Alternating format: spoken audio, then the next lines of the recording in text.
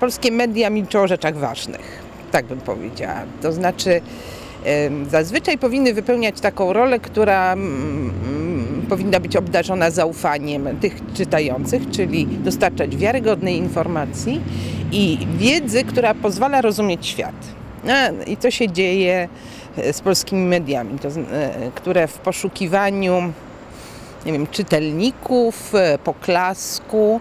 Szukają albo polityków, którzy wyplatają e, duby smalone na każdy temat. Oczywiście, znowuż generalizujemy, tak?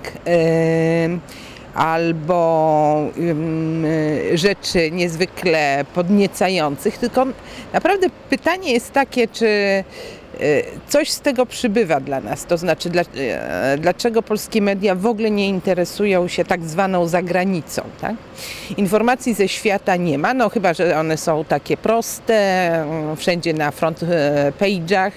Natomiast e, jeżeli próbujemy znaleźć w polskich mediach i zrozumieć, co się dzieje w Ameryce Południowej, Trochę ostatnio pojawiło się artykułów o Kolumbii czy Brazylii, E, ale powinniśmy sobie zdawać z tego sprawę, że tam akurat e, zostały uruchomione mechanizmy, które byłyby bardzo ważne także z punktu widzenia rozwoju życia, jakości e, życia, kultury, edukacji w Polsce.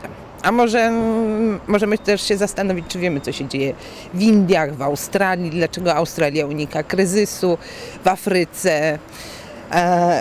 E, i tak dalej, i tak dalej, ale w gruncie rzeczy, jeżeli przeniesiemy ten taki obiektyw na Polskę, to okaże się, że Polska to też jest zagranica.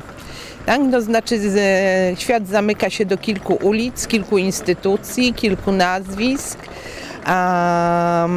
I z całą pewnością, a to pokazuje sprawa e, ostatnia czyli wiarygodności informacji w mediach dotyczących przyszłości inwestowania, operacji finansowych, które wykonują obywatele, e, że e, ludzie nie rozróżniają tego, co jest napisane w artykułach i co jest napisane w adwertorialach, które w Polsce nie są zaznaczane bardzo często.